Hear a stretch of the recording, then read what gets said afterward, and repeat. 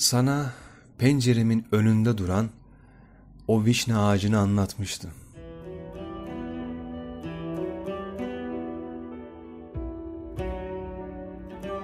Karanlıkta bile ona bakmak bir mutluluktu.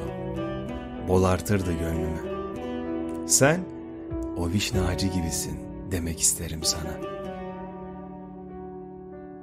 İlk yaz güneşinde sert, yalız, ışınımlı aklıyla bir kışında ödülünü dağıtır gibi göğe karşı çiçeklenen, taç yaprakları pörsüyüp döküldüğünde ardından gelecek alın umuduyla bizi oyalayan, yemişi koparılmazsa uzun süre karara karara kışı bekleyen vişnenin bütün hallerini sen de görüyor değilim elbet.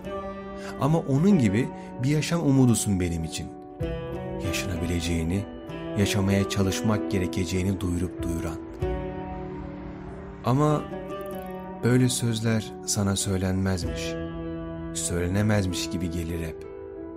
Kur'an ateşini söndüren, soluk aldıran, kapıları açan yaz yağmur gibisin bana. Ama sıkılırsın diye söylemekten kaçınırım.